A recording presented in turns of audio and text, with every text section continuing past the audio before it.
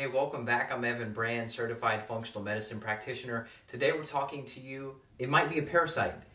And this is something that's really timely for me. I'm going to link my lab results below, and you can actually see the results of my stool test that I ran on myself.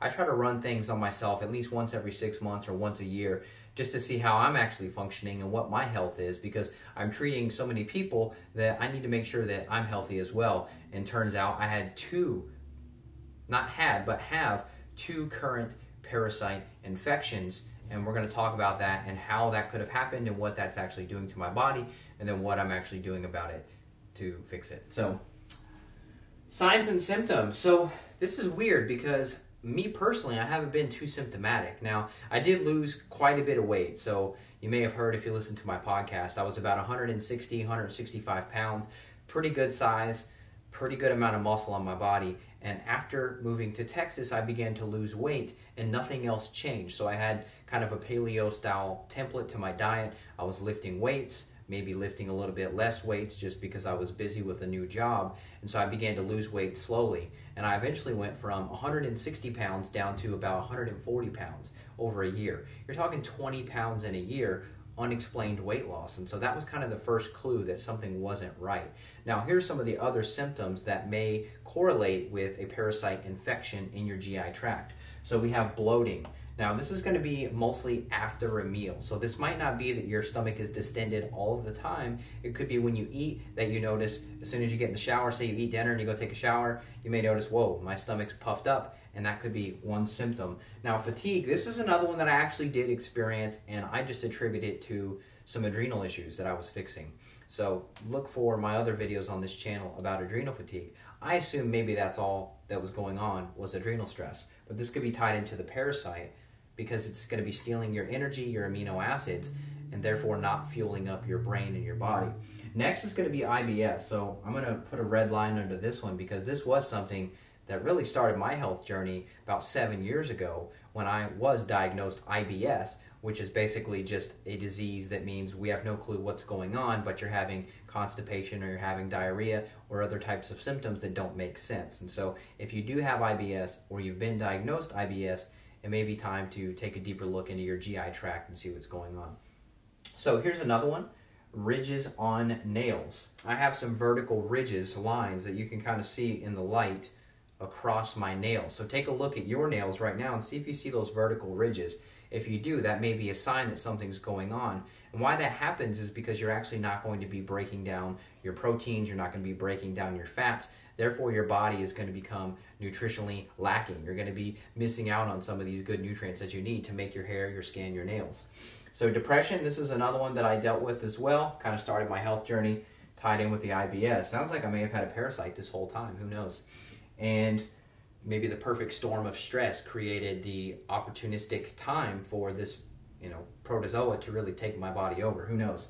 So brain fog this is another one. A lot of people talk about brain fog and what do they do? They go to the conventional doctor. Maybe they get on adderall or some other type of methamphetamine and stimulant or they depend on their coffee to boost them up. But in reality there's a parasite underneath the uh, underneath the gi tract causing the issue.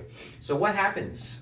So how does this actually how does this manifest and what else happens when you do have a parasite? So adrenal stress this is a big one for me. So I always start every single person out investigating body system one, the adrenal system, because that's going to impact your gut. Now, we know that when you're secreting cortisol, your stress hormone, you're going to be tearing away those tight junctions. So you're going to be creating a condition that you've probably heard of leaky gut. And so, what that's going to do, that increases the intestinal permeability, which can now allow toxins to get into your bloodstream and things like parasites are going to have a little bit better opportunity, a little bit better odds of basically nesting in the GI tract. So adrenal stress could be a cause, but also could be something that is related to this because if you do have that parasite, you're going to have this low level infection, this low grade inflammation that your body's constantly trying to fight.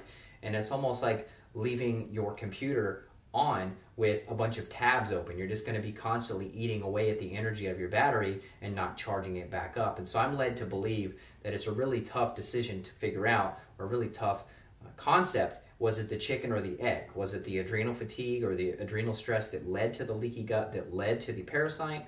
Or was it the parasite that led to the increased stress, which led to the adrenal fatigue, which led to the leaky gut and more food allergies and things like that?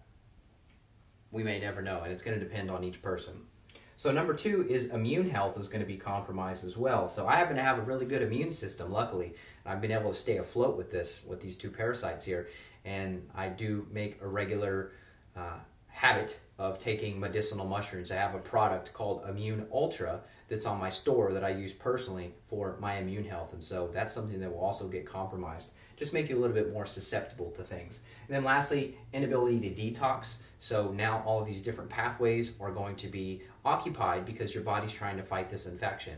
And it's almost like if you are looking at the government, for example, and they're allocating all of their resources to spending money on war, but they're ignoring fixing the potholes in the town square, right? It's not that your body can't do it, it's just that your body is so focused and myopic in a way of looking at these other issues that it's ignoring immune health, it's ignoring detoxification, things like that. So that's why if you have something like a parasite for 10, 20, 30 years, you can really get into big trouble with chronic illness. So let's talk about number three testing and treating. So, conventional medical approach, if they even find it. This is one thing that we could do a whole video on. If you go to your conventional doctor with some of these symptoms up here, most of the time what they're going to do is they're going to do one stool sample on you and you're going to mostly get a result that shows that you're free and clear. And i can't tell you how many lab tests i've looked at from conventional doctors that shows that there's nothing in the stool they get a clean bill of health and they go on but the symptoms remain. Now when we look at their stool test with a functional medicine test where we're going to have a three day stool sample generally we're going to find a parasite and that's because we have to track the lifespan of these protozoa to actually find them. And so, you know, I'm going to write FM here. You got to get a functional medicine based stool test that's going to be a little bit more comprehensive and a little bit more sensitive that's going to be able to detect them.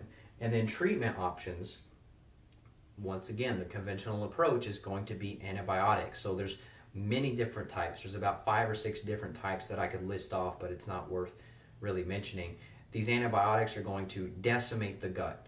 And now, I'm not a medical doctor, so if that's what the medical doctor is recommending for you and that's the only option that you're told, that's what you're going to think is the only option. And that's actually not true. So, my my favorite way is going to be the herbal approach. So there's tons of different natural antimicrobials, natural antiparasitics, natural antibacterials that can be highly effective at killing these parasites off and then at the right time, we're going to re-inoculate the gut with a good a, a, good probiotic and some good gut healing nutrients to make sure we don't end back up in this situation. So two that I really enjoy are going to be garlic, specifically extract. So I'm not just saying eating a garlic is going to be potent enough. And then we have oregano. So we're talking mostly extract forms here, highly potent compared to just sprinkling some oregano on your on your tacos for the evening. Uh, could be good preventative medicine though.